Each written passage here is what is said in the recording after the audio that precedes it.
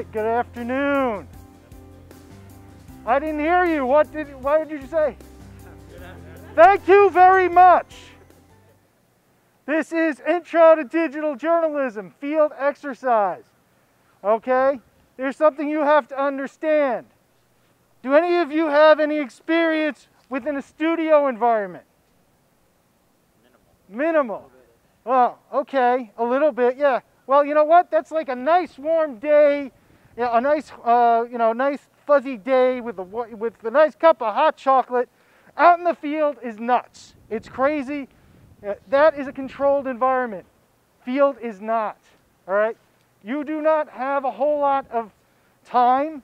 You do not have a whole lot of equipment with you. If something goes wrong in that studio, oh, I'll just go over here and get this new piece or just get that. You're in the field. You're in the field. I've actually been in a field when something has gone wrong. What did I do?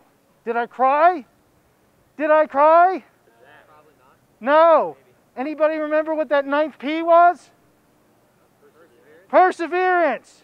You need a whole lot of perseverance to work in this industry and to be out there in the field.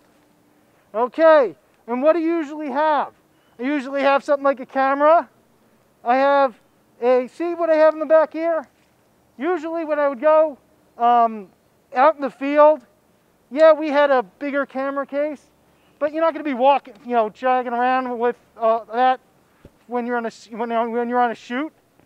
You need something portable. So I would have something like this, very similar, and I would have my audio cables, and I would have uh, microphones, and I might have well, not, not, a screwdriver or something like that, because sometimes these things have screws or there's things on the, on the tripod that you might have to tighten up. Now you can get away with maybe a quarter or something, but I always had to, always had that. I always had, sometimes I had little blocks. Anyone know why I might have little like wood blocks in there? Go ahead, Bjorn. Probably to stabilize the tripod if it's like. No,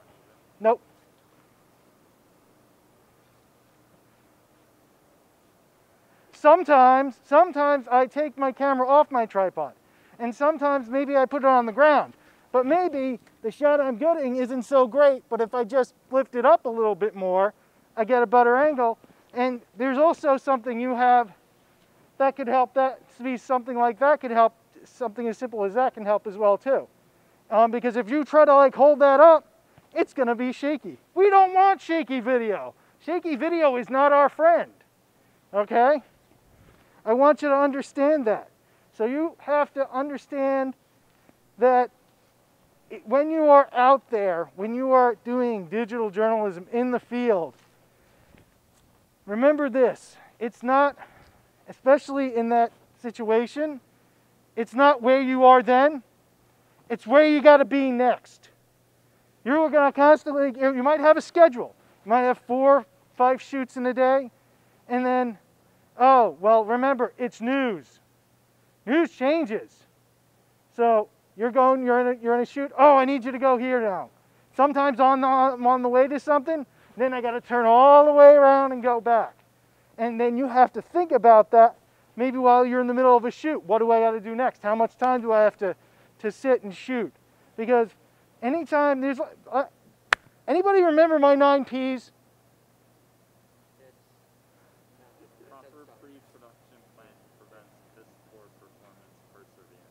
Thank you. And yes, that is true, and follow that. But remember, when you're out there, when you're out there, it's, sometimes it's on the fly, okay? It's on the fly. And the perseverance is what keeps you going, okay?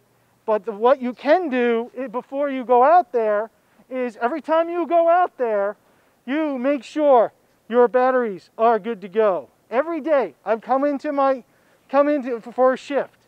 I come in, I make sure my, my batteries are full. I make sure I have as much, uh, my, my, uh, my cards completely, uh, completely um, done. If, um, if I have my, uh, if I have a laptop with me, um, make sure that's fully charged, okay? Because sometimes I got to throw some stuff in there.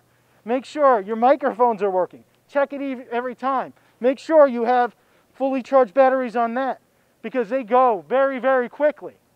Okay? They can go very quickly. That's another thing I keep in my little satchel. Batteries too. Okay?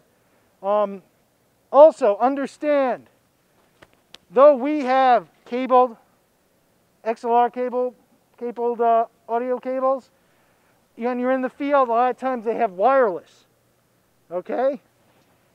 So, but it doesn't matter because I still, remember I said I still always have an audio cable? Why? Because the battery sometimes can die. Something can go wrong. Then I always have the audio cable in there with me. I had to use it maybe twice, but it was there when I needed it. It's making sure all that stuff is there. That's where the proper pre-production planning, you have to do that every time. Because there's no worse feeling when something's not where it's supposed to be. Because you're going to be out in the field. Okay? You have to remember that. Okay. Now, yes, we have our camera. And this is how we do what we do. Okay? This is similar to other professional cameras. Okay? Um, the, the workflow, you'll find a lot of cameras of this nature are similar in how they work.